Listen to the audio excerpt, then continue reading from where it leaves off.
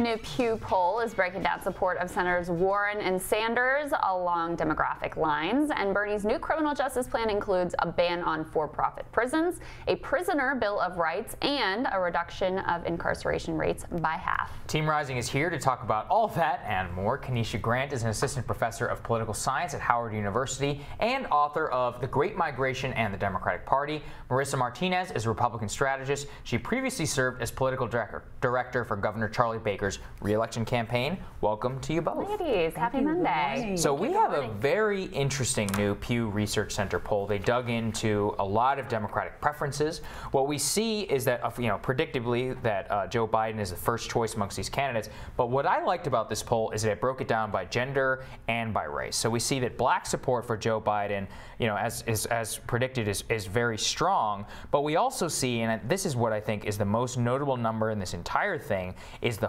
4% black voter support for Elizabeth Warren. And there's, Keneshia, we talk about here all the time. You cannot win the Democratic Party without black support. You just cannot win the primary. It's impossible. Yeah, yeah. I. Um, I'm interested to know who they talk to in the poll, okay. like I always am. Yes. Yeah. You all familiar yeah. with that? Of course. But I think what's really interesting is that 45% of people who are black and not sure about mm-hmm. their That's right. There's candidate. a 45% number, which is huge yeah. that, that, they're not supporting. Most yeah. of the people who I talk to, especially black women, are very excited about Warren hmm. without prompting. Yeah. Just who are you looking at? Warren is the answer I get back very often, as often as I hear folks talking about Joe Biden. And so I'd be interested to know what the race and gender breakdown might be because yeah. most of the folks I'm talking to are black women, and those black women are especially excited about. Yeah, because she overall, they looked at you know all of the um, candidates' coalitions. She had the whitest coalition of any candidate. You know, whiter than Mayor Pete, who we talk often about how he struggles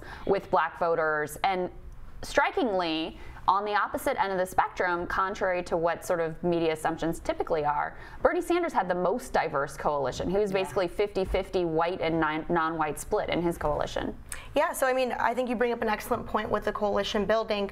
Um, in my opinion, you know, um, as someone who's worked on campaigns and has, you know, built quite a few coalitions, um, it still is, you know, a year and some change until mm-hmm. the, until the election. So I think it's going to be an interesting dynamic to see, you know, if we're going to see educated African American women um, and where you know they tend to fall and vice versa. Right. Keneshia, yeah, what do you think the voters are weighing? I mean, with this large population of African American voters who are basically like, we're still looking. Yeah. What do you think are some of the things that are being weighed? I think uh, black voters are like other voters in the sense that they're worried about electability. Mm-hmm. And I think we keep getting these signals that Joe Biden is the only person who can win.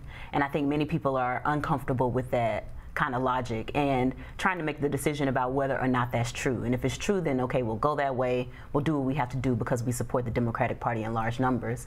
But I think if we get any signal that Elizabeth Warren can do it or Kamala Harris can do it, then we're out.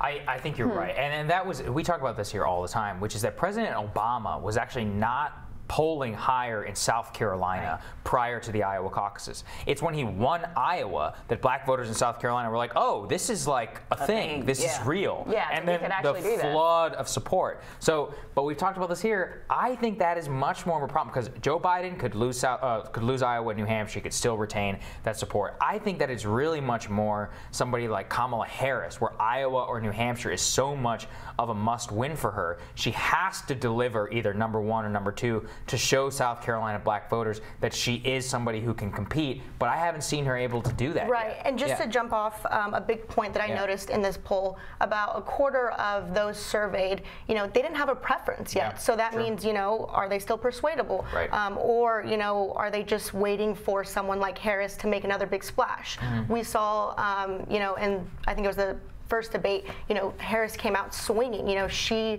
you know, kind of brought it to Biden, and um, you know, I'm curious to know if she's going to continue to make marks like that, which of course will improve her polling. Well, and Keneshia, I mean, what we've seen since that sort of breakout moment for Senator Harris, she had a jump in the poll, and then her numbers have sort of steadily eroded at the same time that Warren's have risen, and right. they have a very similar. I mean, actually, a lot of white liberal women like both Kamala and Warren, and I think Elizabeth Warren has been the primary beneficiary of Kamala's decline. Yeah. I think you're right. I think that they are to be tr- totally like transparent, the people I talk to want a Warren Harris ticket, but they don't believe it will ever happen, and so they are speaking to us in these terms. Like, I really like Harris, I li- really like Warren, and depending on what day of the week it is and who I'm talking to, you get a different Right. answer. Well, yeah, I mean, I'm looking at right now with the numbers on the postgraduate degree. Elizabeth Warren leading the field, no, uh, no surprise here, of people with postgrad degrees and amongst college-educated voters, roughly tied there with Joe Biden. But when you go to high school or less, that's where you see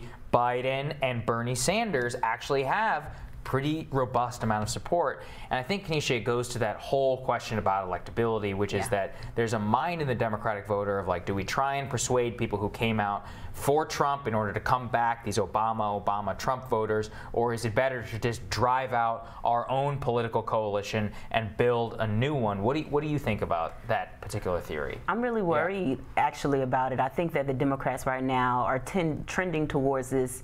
You have to vote for Biden or you have to vote for the establishment candidate because that's the only person who can win. And we tried that in 2016 with Hillary Clinton. We're not Right. voting for Hillary Clinton or excited about her, her. We're voting against Donald Trump. And I think you got to get people to vote for something to vote for.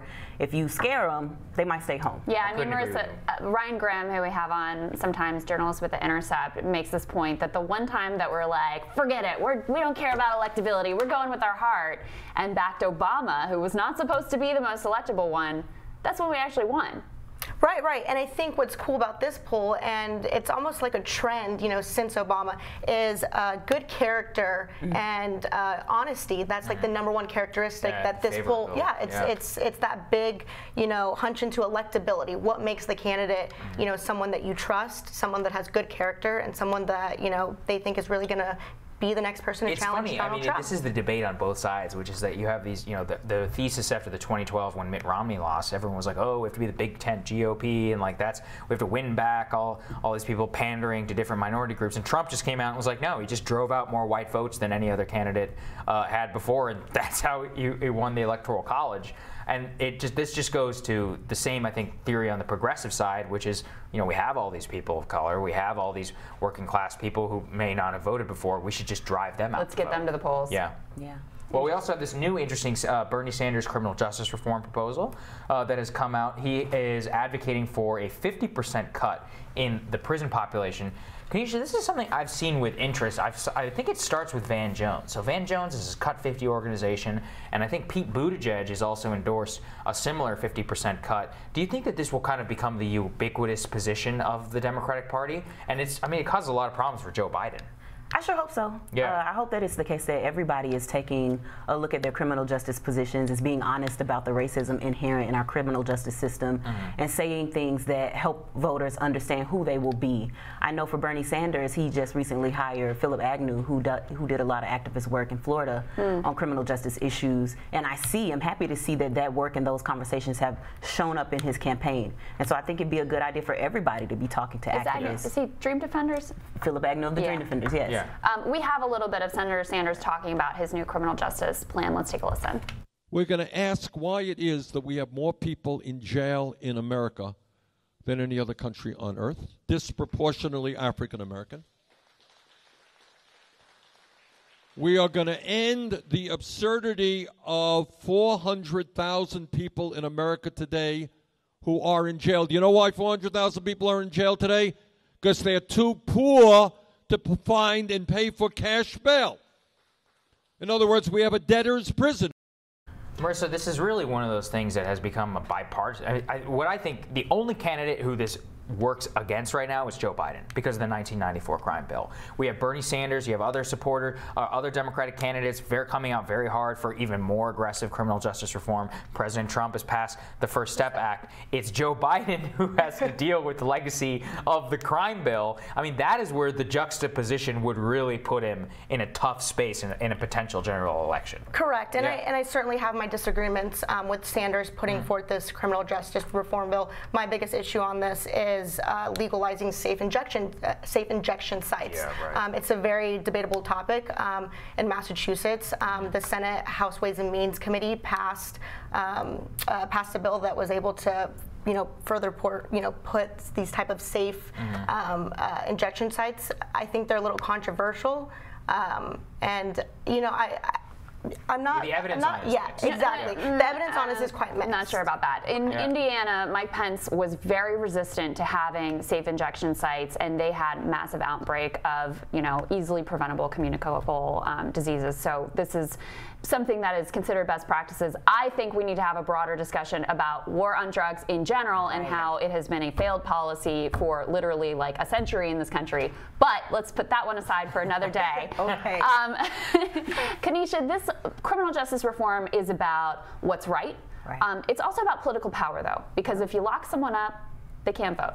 Right. They can't exercise their franchise. And so, with the number of people who have had, the number of black and brown men in particular, have interactions with our criminal justice system and are stripped of their rights to vote, this is also about disenfranchisement and it's about political power. Absolutely, and I think that Florida is a great place to think about that. You all know I'm from Florida and think about that often. And so, if it's the case that it's not about political power, when we have something like an amendment for pass in Florida where the citizens say we want to have it be the case that the folks in our state who are returning citizens can vote, who are actually more white than not white in that state. Yeah. And you see the Republican Party in that state working very hard to go against the will of the voters, to change Amendment 4 and to say that these people can't vote. It has to be hmm. about political power. It can't be about redemption because we're supposed to have a system that sends people into a jail or a prison and brings them back somewhere kind of near whole, or we're supposed to be making them whole in the process of their return to uh, society, but it can't be the case that we want to make them good citizens, we want to make them whole, we want to make them participants, and then we strip their right to vote. The yeah, I mean, the whole idea is that they've paid their debt to society. Marissa, So- quick thought before we take a break. Yeah. Um, I, I mean, uh, I think criminal justice re- reform absolutely needs to be a bigger and broader topic. Um, but if you look at state by state, I can speak to California. When you're having somebody who's, you know, a third repeat offender, you know, have you in theory paid your debt to society? I don't know because I don't know every single criminal's, you know, exact background and what they've done. All right, ladies, stick with us. We're going to have more with Team Rising just after this.